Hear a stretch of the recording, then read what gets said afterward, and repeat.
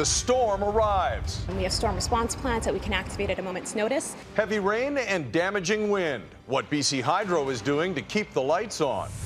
Surveillance sting. I think a lot of people have reason to be concerned about this. Are Vancouver police spying on your cell phone? And heading in the right direction? Can't get rid of heading the ball, that's for sure. American authorities banned this move for younger players. Will Canada follow? Live from Global BC, the News Hour with Chris Gailus and Sophie Lui.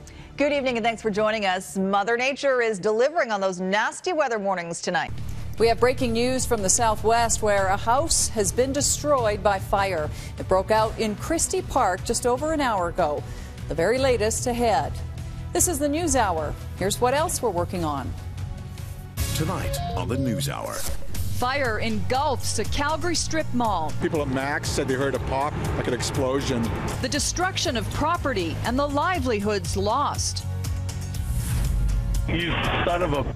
No charges for the man who unleashed a verbal tirade on a Calgary cabbie. Why police have decided not to lay any again. New or just new to you? When you buy new tires, you expect them to be brand new tires. How to spot the difference between newly produced and simply not used. Now from Global Calgary, the News Hour with Gord Gillies and Linda Olsen.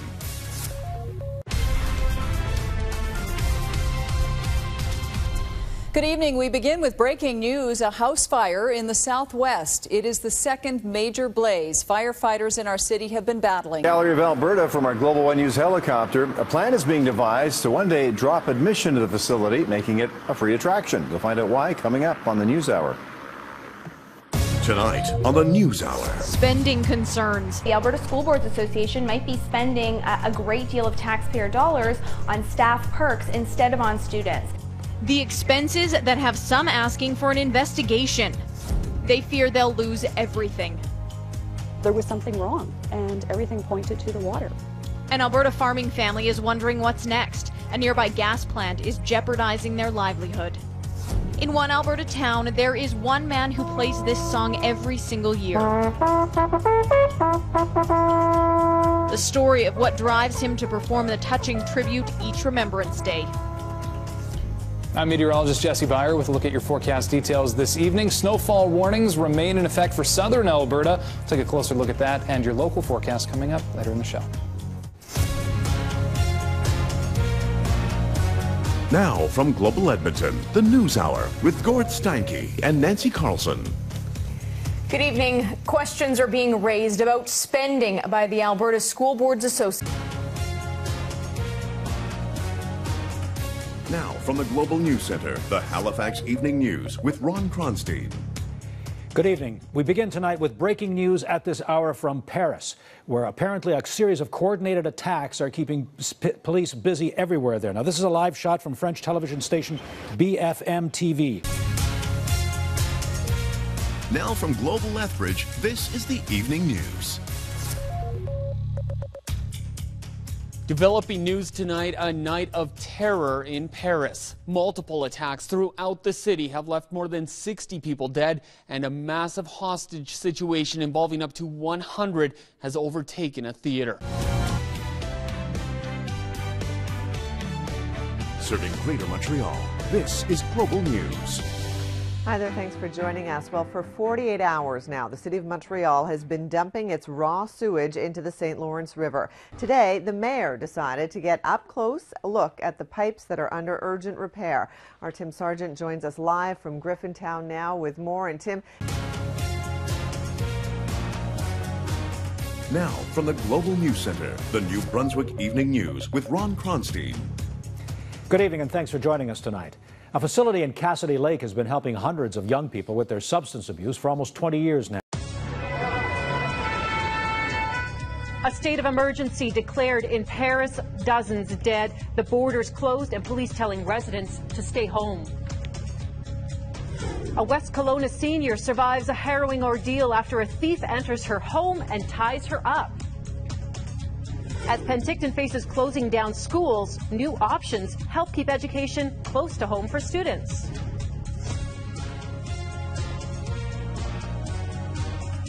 This is Global Okanagan News at 5 with Rick Webber.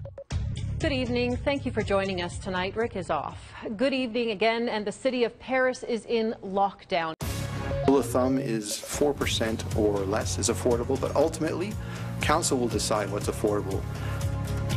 So, will they approve a 3.9% tax hike? That's what's being recommended in the city's proposed budget. Who wouldn't be scared? A bullet comes flying through your window in the, you know, middle of the night. So, it's just, it's unsettling. A mother woke up to find her front window damaged by apparent gunshots. We're just trying to find um, a baby that my mom put up for adoption in 1980. But it's not an easy search in Saskatchewan. Social Services has a three-year wait list to even start an adoption investigation. From the Global Regina Studios, the Evening News with Whitney Stinson.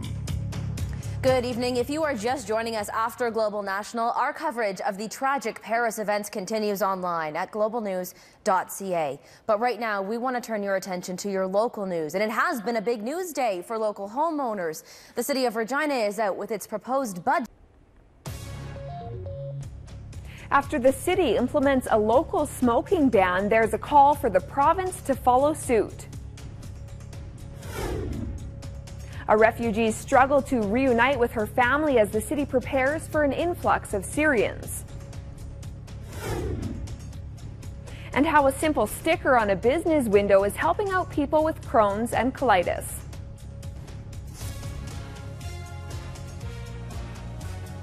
Live from the Global Saskatoon Studios, the Evening News with Wendy Winiski.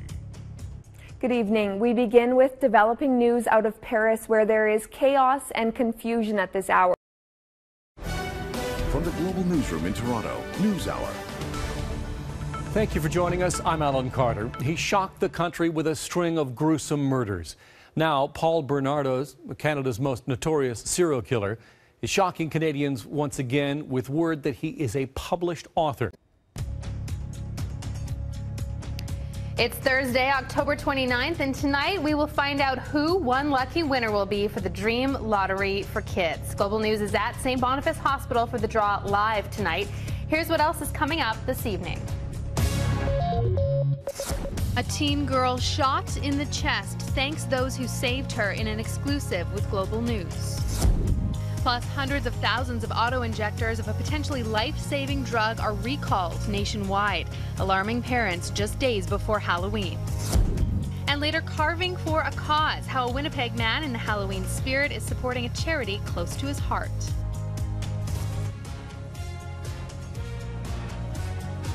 From the Global News Center, the Evening News with Heather Steele. Thanks for joining us. She was shot in the chest, and tonight, Callie Vanderay is speaking out for the first time.